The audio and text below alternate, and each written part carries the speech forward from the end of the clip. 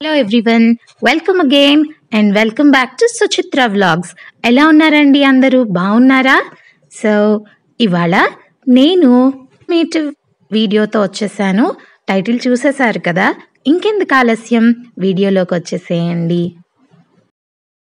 ప్రతిరోజు నిద్ర లేచిన వెంటనే దేవుడికి దండం పెట్టిన తర్వాత చాలా మందికి ఇల్లు తుడిచిన తర్వాతే పొయ్యి వెలిగించడం అన్నది ఒక అలవాటు ఉంటుంది. సో అదే కాకుండా మనలో కొంతమందికి చీపుర్ని ఎట్లా వాడుకోవాలి ఎట్లా శుభ్రం చేసుకోవాలి ఏ డైరెక్షన్లో నిలబెట్టాలి ఎలా నిలబెట్టాలి ఏ డైరెక్షన్ నుంచి చిమ్ముకుంటూ రావాలి అన్న ఈ నాలుగు ఐదు పాయింట్స్ ఏవైతే నేను కోట్ చేశానో చాలామందికి అది తెలియదు. సో ఇవాళ నేను తెలుసుకున్నటువంటి ఈ ఇన్ఫర్మేషన్ని మీతో షేర్ చేసుకోబోతున్నాను ఈ చిన్న వీడియోలో. ముందుగా చీపుర్కి రెండు భాగాలు ఉంటాయి పై దాన్ని మనము ఈ విధంగా హ్యాండిల్ చేస్తాం కదా దాన్ని మనం హ్యాండిల్ అందాం.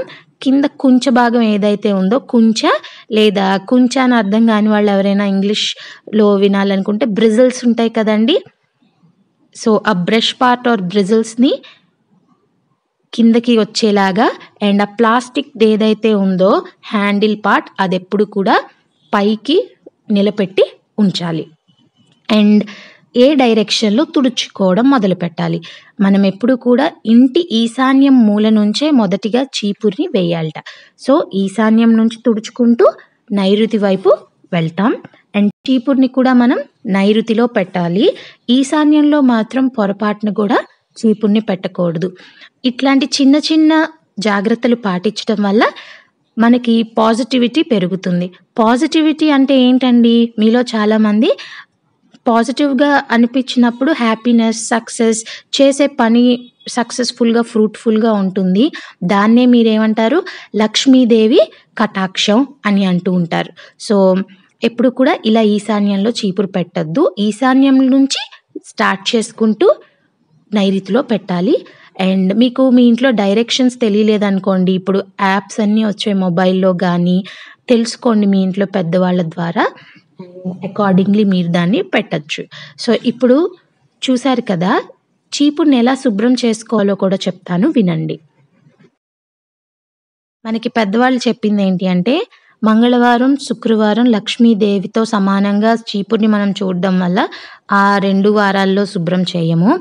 అండ్ బుధవారం పూట మాత్రం పన్నెండు నుంచి పన్నెండున్నర ప్రాంతంలో మాత్రమే ఈ చీపుర్ని అన్నది వాటర్ పెట్టి శుభ్రంగా నీటితో కడిగి ఎండపెట్టుకుని వాడుకుంటూ ఉండాలట. ప్రతిసారి కూడా వారానికి ఒక్కసారైనా చీపుర్ని మీరు క్లీన్ చేయాలి.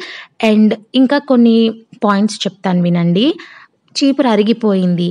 పడేస్తాం. మంగళవారం శుక్రవారం శనివారం చీపుర్ని చెత్తలో పడేయకూడదు. అరిగిపోయిన దాన్ని మిగతా ఏ రోజులో అయినా మీరు పడేయచ్చు.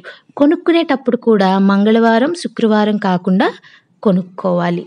సో ఇట్లాంటి జాగ్రత్తలు పాటించడం వల్ల మీరు ఆనందంగా ఉంటారు. మీ కుటుంబం కూడా ఆనందంగా ఉంటుంది. కుటుంబం ఆనందంగా ఉండడం అంటే ఏంటండి?